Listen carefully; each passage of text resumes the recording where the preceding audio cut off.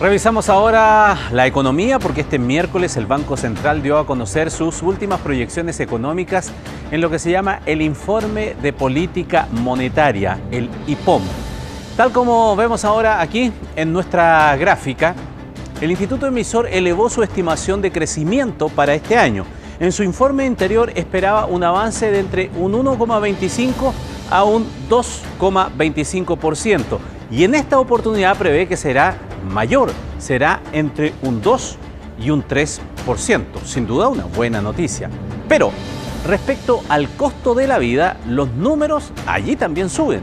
Y eso no es una buena noticia. Si antes se esperaba que el IPC a diciembre de 2024 llegara a 2,9%, ahora estima que se elevará hasta el 3,8%. ¿Se está transformando la inflación entonces en un problema nuevamente? La respuesta en la nota. Va a tener que andar mucho menos que antes.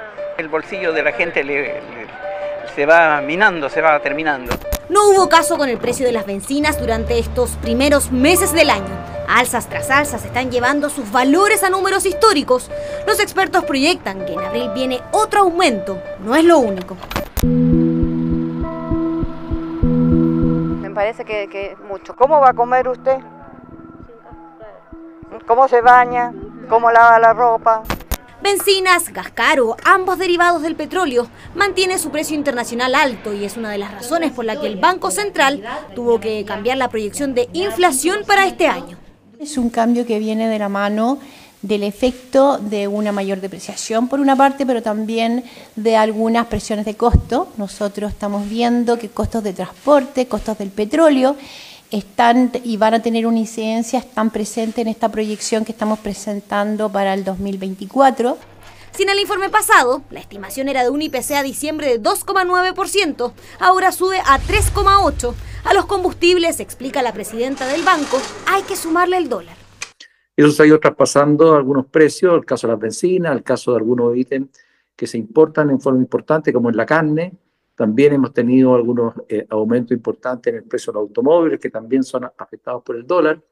Otro tipo de productos son los bienes transables. Y cuando hablamos de los bienes transables, hablamos, por ejemplo, de aquellos bienes que nosotros importamos. Tenemos, por un lado, alimentos sumamente relevantes dentro de nuestra canasta, que también están en la canasta básica de alimentos, como por ejemplo lo que son el aceite, el azúcar, harinas. ¿Y qué pasará con la moneda norteamericana durante los próximos meses? ¿Seguirá presionando la inflación?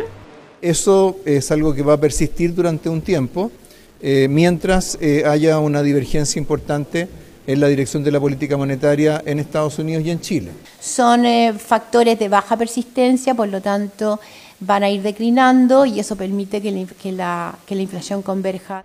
Los expertos coinciden en este diagnóstico. La tranquilidad es a que no vamos a volver a las cifras que vimos años anteriores, ¿cierto? Cuando habíamos sobrepasado los dos dígitos. Yo diría que la inflación va bajando, se va a demorar un poco más, pero va alineada con lo que tiene el Banco Central. Eso sí, esta nueva proyección podría atraer una baja más moderada en las tasas de interés, algo distinto a lo que se estimaba hace un